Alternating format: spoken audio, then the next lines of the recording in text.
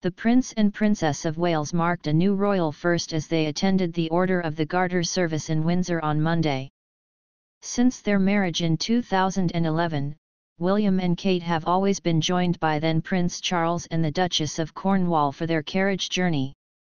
In 2019, they also shared a carriage with King Felipe and Queen Letizia of Spain. The princess was absent from the event in 2013, 2015 and 2018, while she was on maternity leave with Prince George, Princess Charlotte, and Prince Louis respectively. Heavy rain in 2016 changed the royals' plans and they all had to travel to the venue by car instead of open carriages. And in 2017, the Order of the Garter service was cancelled as the late Queen Elizabeth II attended the state opening of Parliament after the snap general election. The event was also cancelled in 2020 and 2021 because of the global pandemic. Kate was spotted proudly beaming at her husband William as she spotted him in the procession, walking alongside King Charles, Queen Camilla, the Princess Royal, the Duke of Edinburgh and the Duke of Gloucester.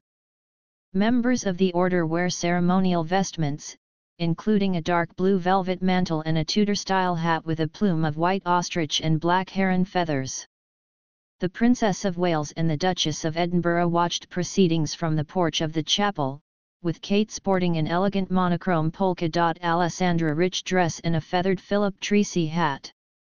Meanwhile, Sophie opted for a sleeveless floral A-line dress by Emilia Wickstead with a pink and white Jane Taylor hat. Kate actually attended the Garter Day service before her marriage to William. The then royal girlfriend watched with Camilla and Prince Harry as William was invested as a Knight of the Garter. Her look for the occasion was very similar to her recent ensemble, with the future royal wearing a black polka dot skirt suit and a feathered hat. The Waleses have had a busy few days, after attending the King's birthday parade trooping the colour in central London last weekend.